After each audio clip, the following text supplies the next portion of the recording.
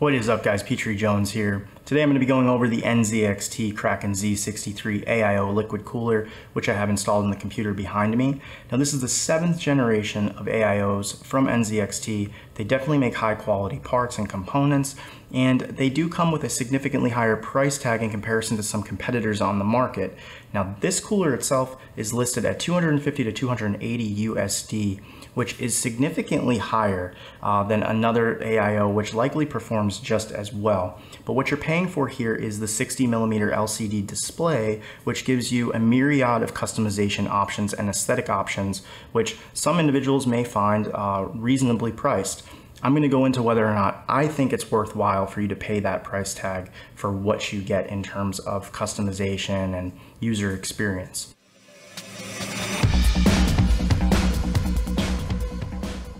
Now, this is a 280 millimeter configuration. Keep that in mind if you have a smaller case. I have a DLM21 by Dark Flash, and I actually scratched the radiator trying to get it as a front uh, mounted configuration and can only comfortably fit it uh, in the top. So again, if this is something that is a little bit too big for your case, you really need to keep that in mind um, and avoid the hassle that would be associated with that. Now, the, uh, in terms of the components themselves, uh, they're very well made and of high quality. The radiator is an aluminum uh, built radiator. As you would expect, it feels durable, sturdy, um, and solid. And it comes with Aer P140 static pressure fans, which are really good fans actually. Um, however, they, they are not LED uh, capable or RGB capable, um, so just keep that in mind. Uh, now, in terms of the tubing, it is definitely very flexible and kink resistant. You would certainly have to bend it quite a lot for there to be any sort of blockage in liquid flow.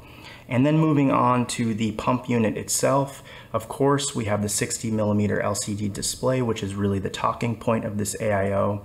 This is encased by a very high quality black plastic, which is pretty scratch resistant. And then the backplate is made out of copper, which seems to be par for the course for AIOs of this type. Now for the display itself and those options that you have uh, in the CAM software, you can just have it display the metrics like temperature, for CPU, GPU, liquid. Uh, you can have it display load usage and so forth, and you can even cycle through these if you so want.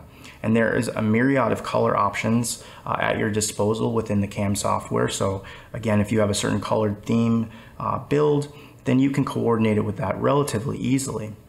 In addition to that, um, the real talking point is that you can load GIFs to the display. Uh, and it's really easy to do this. I was very surprised. All you need to do is just download your GIF, open up the CAM software, go into the lighting area, and then uh, within that, you're going to choose uh, GIF, and then you just simply upload the GIF that you just downloaded it and you crop it to uh, your needs, and it displays. It looks really good too. It's a very bright display, and unless you get up very close, you, you likely will not notice any pixelation. Um, so that's really good. Now, in terms of whether or not I think that this is worth the 250 to $280 price tag, um, for me, yes. Now, to be honest with you, this costs more than the CPU. I have a Ryzen 5 2600 and I put this uh, on top of that CPU. A lot of people would call me crazy, say that I could have put that money in a better uh, graphics card or updated or upgraded the CPU, put more RAM, etc. And they're right. But again, you can't really put a price tag on aesthetics. And the real reason why I bought this was just so that I could display GIFs and have a cool AIO display.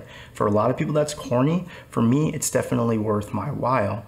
And I think that NZXT knows that. I think what they're targeting here are aesthetically minded individuals that uh, really put a lot of emphasis and care into how their rig looks and are willing to pay an extra $100 just so they could have an LCD display.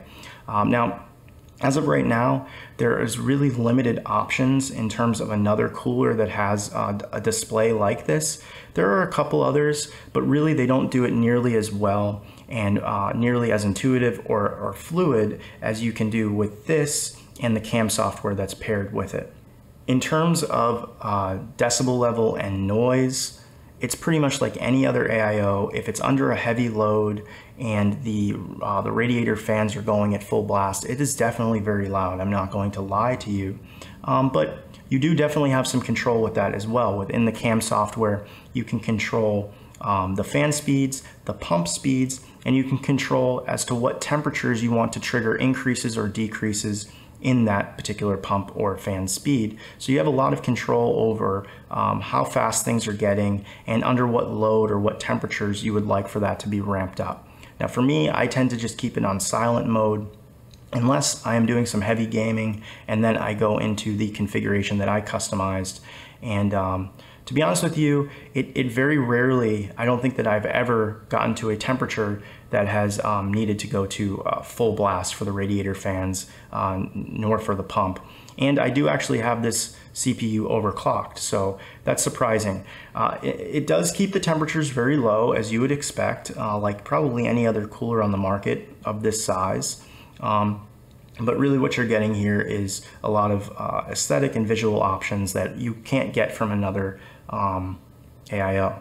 I do wish that they would put this in a white version as well. I, I really had a hard decision to make between getting this or getting the Corsair. Uh, I think it's an H100i, which comes in a white. And actually, it was kind of uh, a decision as to which one I thought would actually look better. The all white without an LCD display or a black, uh, which I'd probably prefer in white, but it does have this cool LCD display that I can load GIFs to and, and so forth. And ultimately I went with this. Um, again, would I recommend this? I would only recommend this to somebody who has the money to spend on it, thinks that it's worthwhile for the visual customization options, but do I think that this cooler is going to give you any better performance than something that probably costs half its price? No. Um, so anyway, that's it. I hope you liked the video. I know that it was short, but I just wanted to give you uh, the nitty gritty as to whether or not I thought that it was worth your while. Uh, leave a comment below, like, subscribe, uh, and thanks a lot for tuning in.